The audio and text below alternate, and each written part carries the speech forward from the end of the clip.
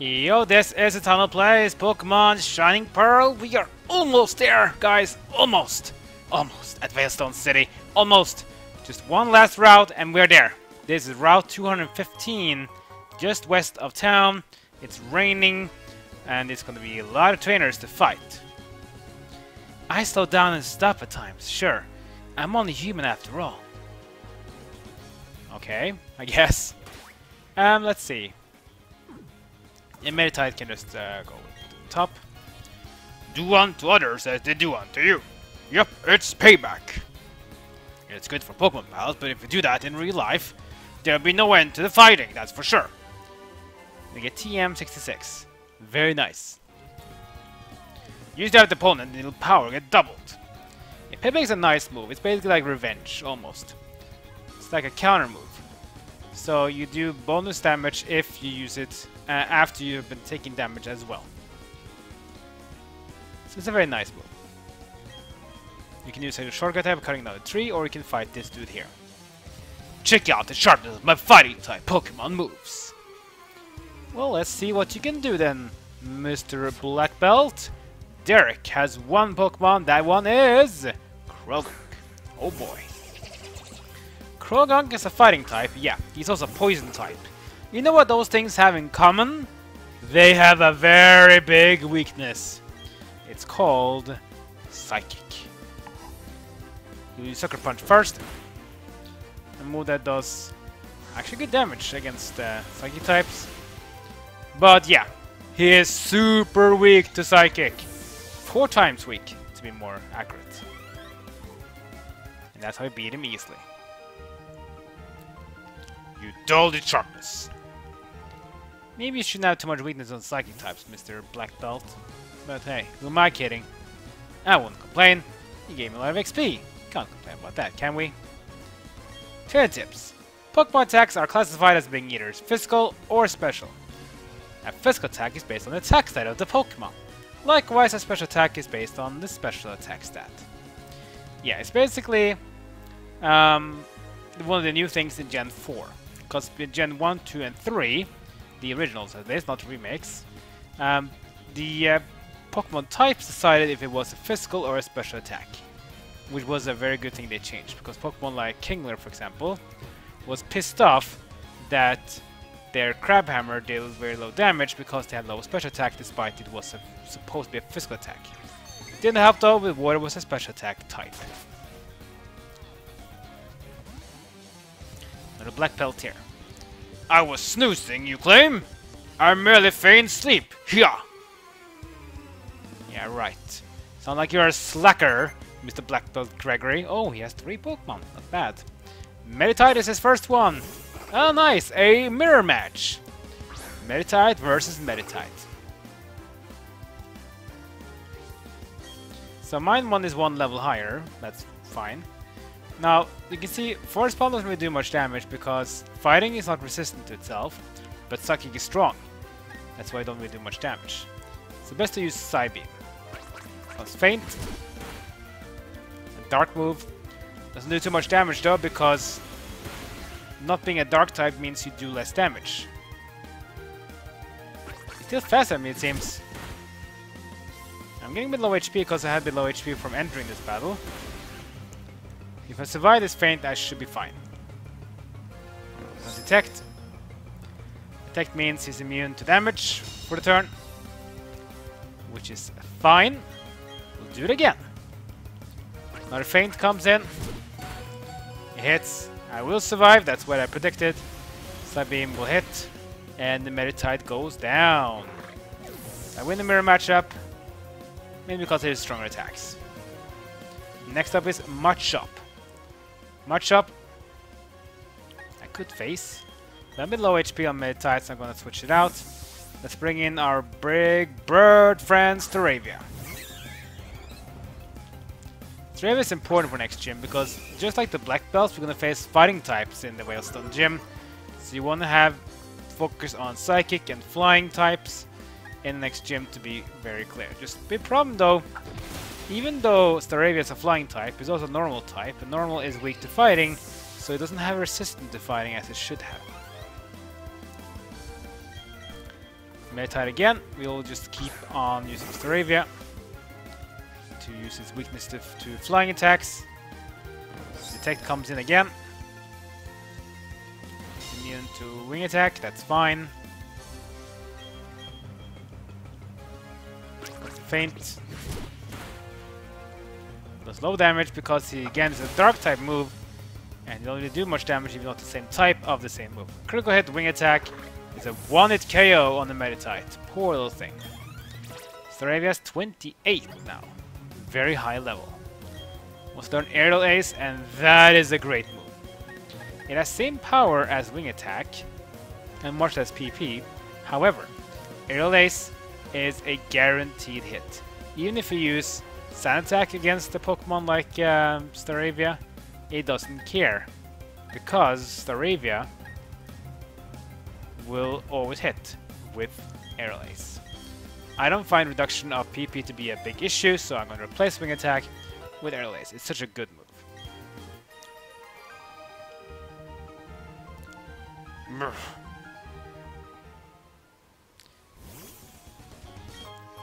And we get a fist plate. Another plate from the Arceus ones. This is the fighting type one, obviously. Go up here, can go down here, get an item. A guard spec. Go down these places here. Use this tree to cut down. Another trainer here. Every drop of sweat I shed makes me that much stronger. Fine. Another black belt here. Black belt Nathaniel with Croagunk. Hmm. Should I fight Croagunk or should I heal? I forgot to heal. I'm not gonna take a chance. In case he uses Sucker Punch again, he's gonna KO me before I get to hit him. Use the Potion on Meditite, restoring HP to max, since Super Potion is a 60 HP restoration. I have 2 HP, that means I go above max. Flatter.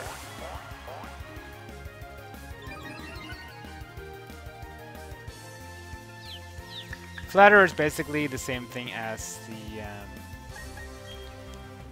oh, I can't remember the move. The move that increases attack stat and causes confusion.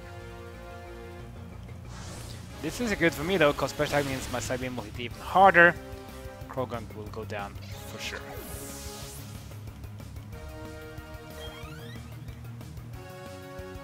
Maybe with Meditite. I'm not gonna bother with that. Staravia, if you please, come on out and play.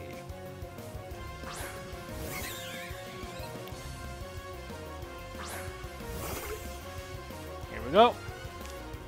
Intimidate, reducing attack stat of uh, Meditite, which means Staravia is a great Pokemon to switch in and out, just to get the uh, extra attack stat reduction now for free.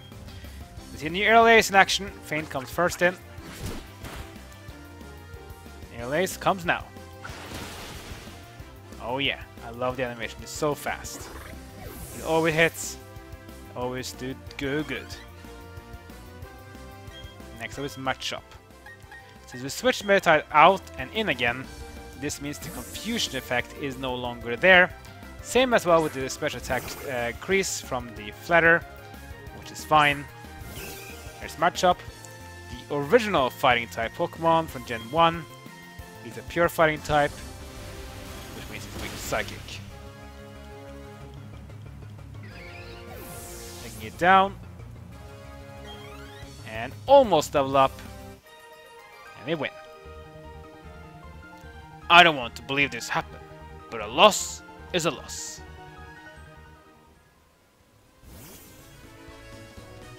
At least this guy's honest though. What about you? Jogging is good for you, but you have to make sure you're not overdoing it. Yeah, I agree. As someone that's actually been doing a work of health and body, I do agree that you don't have to overdo it, mainly because of your feet. There's a lot of tension for your feet to have your body go back and forth. So make sure you have good shoes, you run on a good place, and yeah, you need to have a good mind as well. If you're stressed, it might not be good. Alright, let's see. We're gonna have a double battle now. Uh, I think Ponyta should get some more XP too. Let's bring in our low levels and get in through this double battle. I'm taking the Veilstone Gym Challenge, but first... I'll battle anyone, that's how I get better. Yeah, let's have this dual battle then. With two cool trainers or ace trainers, Maya and uh, uh, Dennis. With Glameow and Monferno. Interesting.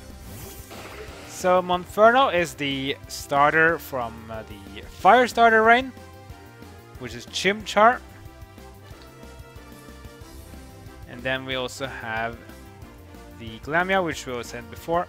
Now Monferno, interesting enough, he is a fire type, but after evolving from Chimchar, he also gets the fighting type, which means now he has a bit of an issue.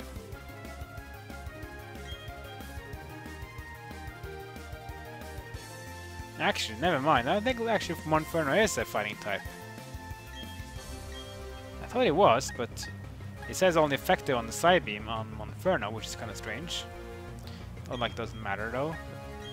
Maybe because it was on the other Pokemon. It doesn't matter. Flame Charge on Glameow. Aerial Ace. Yeah. Glameow knows Aerial Ace, which is interesting. Taunt Taunt causes the opponent to only use attacking moves that deal damage. Which means you can't do non-damaging moves while under a taunt. Now 25 on Meditite and Ponyta. Mind Reader is next. Mind Reader is basically the same thing as Detect. Or actually, never mind. Uh, never mind that. Mind Reader is a good move. Mind Reader makes you be able to hit the opponent regardless of whatever happens. You can even do Mind Reader, I think, to hit Ghost types as well. So it's a nice move if you really want to use a move that will hit the opponent, but it's only good if you have a move that has low accuracy, so in my opinion it's not worth it. Flame Wheel is a good move from uh, Ponyta. Flame Wheel is basically an improved version of Flame Charge. The exception being that Flame Charge increases speed, Flame Wheel can cause burns. That's basically the big thing here. I don't think you need Ember and Flame Charge though. So let's just get rid of Ember because Point is more of a physical attacker. Kadabra is next. Kadabra, a pure psychic type, but very, very, very, very, very, very low physical defense. Now let's use Psybeam on Monferno. And Ponyta with our new Flame Wheel on to Kadabra.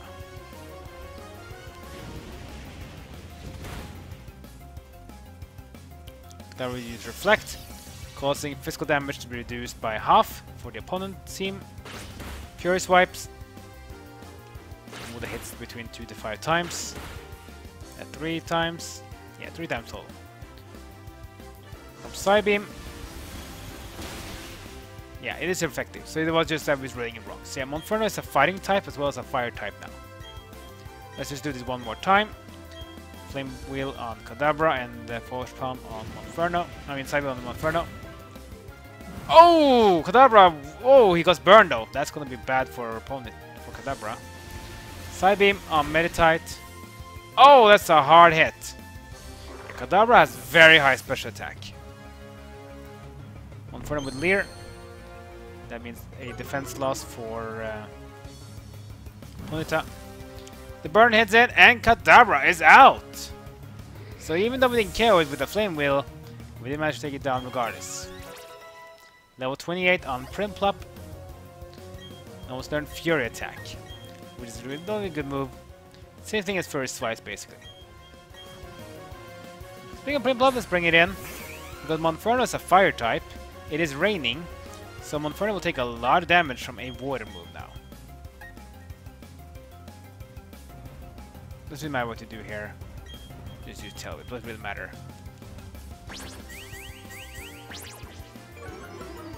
Double is a special attack anyways. Fury Swipes on Ponyta. That's one, two, two hits. This is gonna hurt though. Bubble Beam during rain weather That's going to be a KO for sure. Inferno goes down. And level 28 on Luxio. Nice. We have one more Pokemon to fight, is Gyarados. And Gyarados has Intimidate just like Staravia does.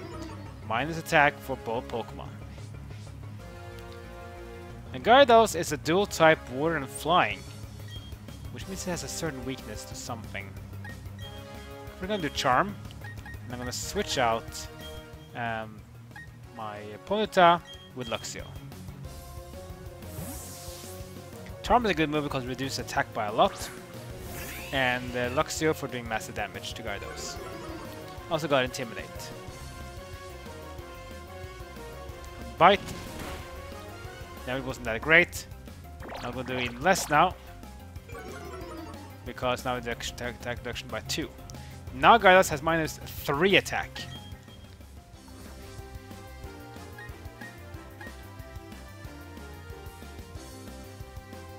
So if we now go to battle and we do the three man we do here, we can just do peck. The big thing here is to spark. You go first because of the quick claw.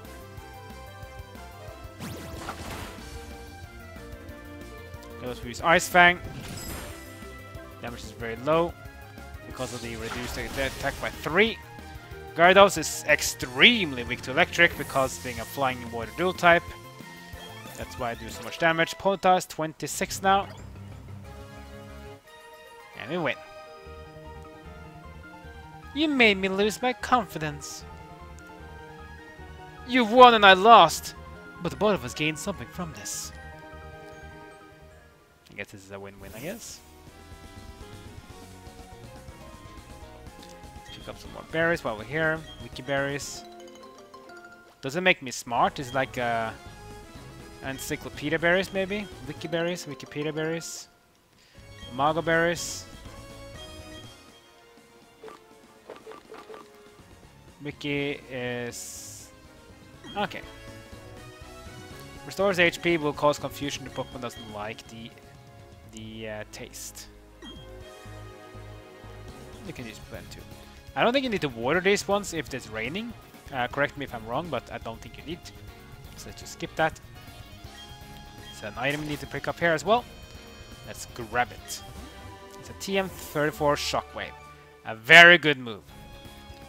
Shockwave, if I don't remember correctly, is a move that's basically just like Aerial Ace, but it's a special attack, electric move, which will always hit regardless if the opponent uh, has accuracy or evasion changes.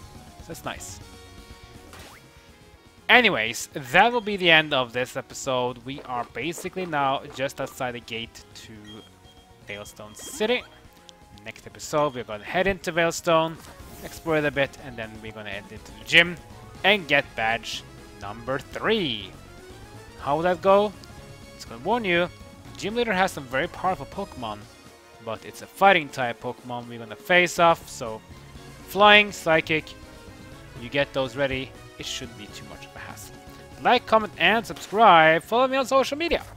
I'll see you next time as my journey in Pokemon Shining Pearl continues.